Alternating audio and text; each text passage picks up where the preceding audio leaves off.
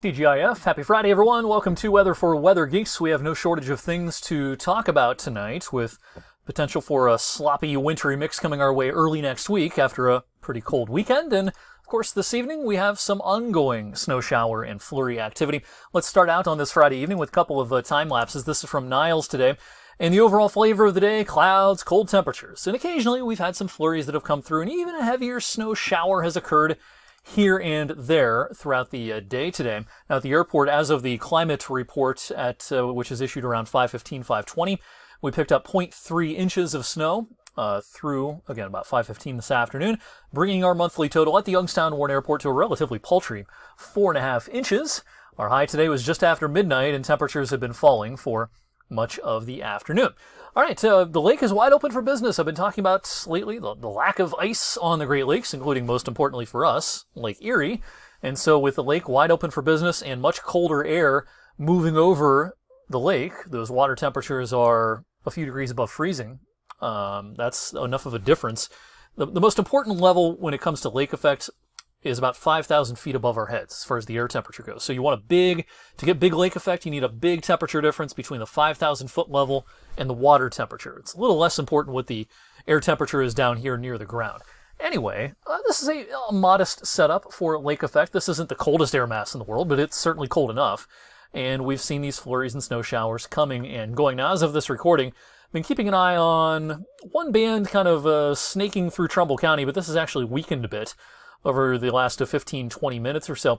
What you see is what you get for the evening. Occasionally, a little burst of heavier snow may leave some candy coatings and some slick spots, maybe even up to an inch in a couple of spots, mainly north of Interstate 80. So yeah, it's turning colder. 26 here locally, but they're down in the teens as nearby as central Michigan, and that's what's coming our way overnight. Here's a look at the latest road sensor temperatures from ODOT across eastern Ohio, and uh, at least on the major roads. Some of them are still above freezing. Some are getting pretty close to the freezing mark. This is a bad reading, of course.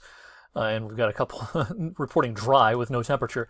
Uh, you can ignore those, but you get the idea. It, it's cooling off, and as the air temperatures and the ground temperatures continue to drop tonight, any of these snow showers and flurries could make things just a little bit slick on anything that's untreated. The most numerous snow showers and flurries will be over the next handful of hours. Once we get past midnight, I think uh, the lake effect machine will start to gradually wind down and shift a little more exclusively towards northwest PA and southwestern New York. Maybe some flurries will be left over through about daybreak here tomorrow morning. In fact, I can't rule out a stray flurry maybe up until 8 or 9 o'clock. Beyond that, I think as high pressure noses in from the west, clouds should gradually thin from west to east during the second half of Saturday, but any sunshine is going to be fairly ineffective. It'll be the coldest day of 2021 so far as far as the daytime high temperature with a forecasted high of just 24, and then the coldest night of the season, or of the uh, of the month, I should say, will be possible tomorrow night as we get down into the uh, mid-teens. We had, we had a few colder nights back in December. All right, on Sunday, warm front heads our way, and clouds will thicken and lower. Pretty unproductive clouds, though. Maybe a couple of flurries, a stray sprinkle. Nothing of much consequence during the second half of the day on Sunday. All right, let's focus on this system for early next week. Uh, this is a low pressure system that is taking a somewhat favorable track for us to get uh, wintry precipitation. The problem is it's not taking the kind of track it looks like in which just snow will occur around here. I think it's going to come far enough north that enough warm air will get dragged in, especially aloft, that we'll see some kind of a wintry mix. Not first thing Monday morning, but towards dinner time and into Monday night and even into parts of Tuesday.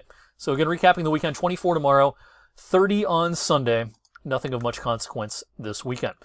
So because of the threat of a wintry mix, Monday late into Monday night into Tuesday, I think the potential for plowable snow, impactful snow around here is quite a bit lower than for our friends to the west and also to the east.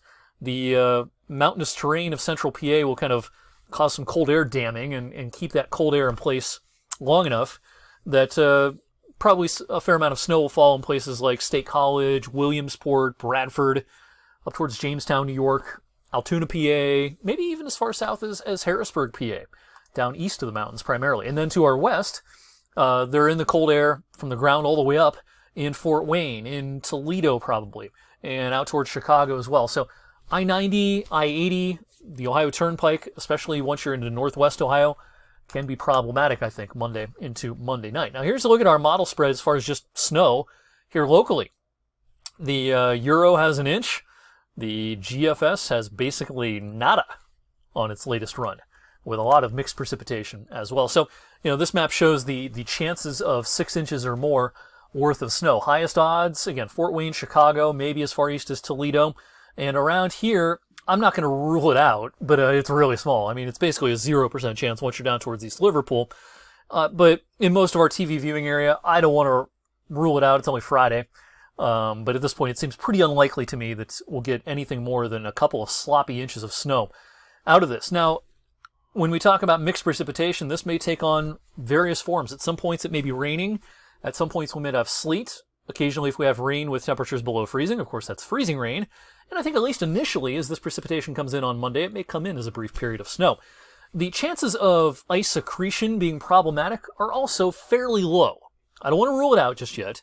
Here's a look at one model simulation showing, yeah, there can be maybe some light accretion of freezing rain if if the temperatures stay below 32 for long enough, late Monday, Monday night, Tuesday morning. Um, but at this point, I, I don't think it's it's a huge deal for us. A couple of different models here showing the forecast ice accretion. Generally speaking, problems with ice accretion begin at a point, uh, at about a quarter of an inch or more. You can have some uh, you know, isolated issues with a tenth of an inch on especially colder surfaces, bridges, overpasses, maybe your deck. Um, right now, the GFS, the red line, shows about a tenth of an inch. The Euro has a fair amount less. So there's a lot to sort out still with this Monday into Tuesday system. Odds do not favor a big snowstorm. Odds do not favor a big ice storm. What odds do favor is just a miserable, sloppy mix back and forth between precipitation types. And at times it may be raining in 34 degrees, which for my money is about the worst weather that we can have. All right, let's talk about some good news in the longer range before we go tonight. And I've been talking about this eh, frequently lately that the pattern as we flip the calendar into February does not look that cold at all. February is likely to come out in the wash as another warmer than average month, and certainly the beginning of February, the first week of February, is, you know, we have pretty high confidence in this. This is going to be a mild period. We could be dealing with several days with highs at least in the 40s in early February. And, you know, early February, our average high is still 33, 34 degrees. So we might be looking at some plus 10s occasionally uh, as far as the difference from average in the high temperature department early in the month around Groundhog Day. So that's something to look forward to unless you are hoping for snow and cold. That'll do it for me tonight on this Friday evening edition of Weather for Weather Geeks. With this system coming our way Monday into Tuesday, I'll stay plugged into the weather this weekend.